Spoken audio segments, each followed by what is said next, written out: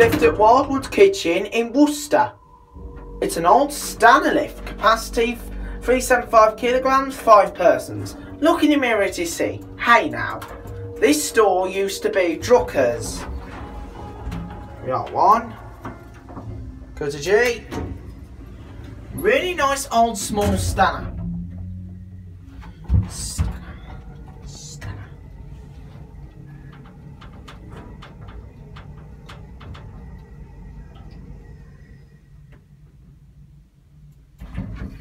coisas no ground and that's it.